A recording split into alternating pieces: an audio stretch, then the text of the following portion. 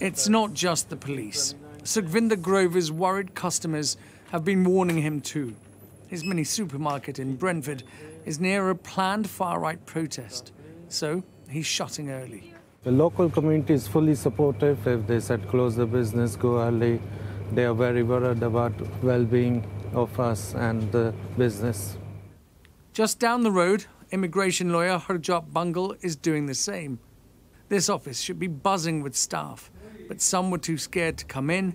The others have been sent home. The owner of our building came downstairs and said, look, we can't really provide you extra security. It's best that if you go.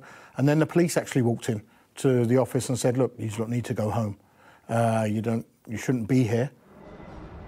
Brentford is just one of dozens of areas around the country where there could be violence.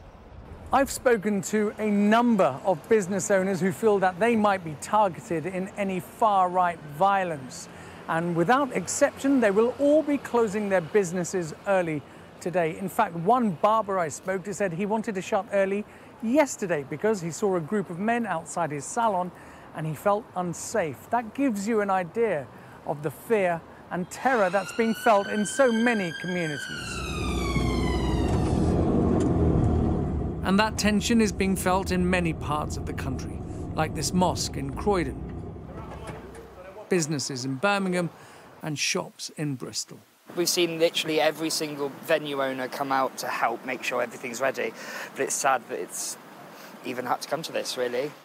These messages are just a handful of those sent to us today. People across the UK telling Sky News they're too scared to leave their homes.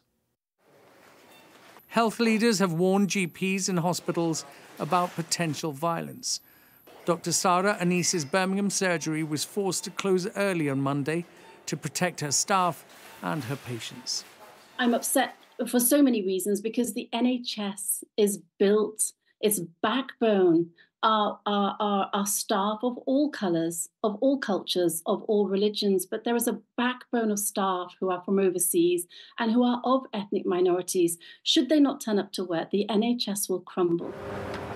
Sukhvinder hopes to open as normal tomorrow, but that all depends on how safe he feels. Ashish Joshi, Sky News in Brentford.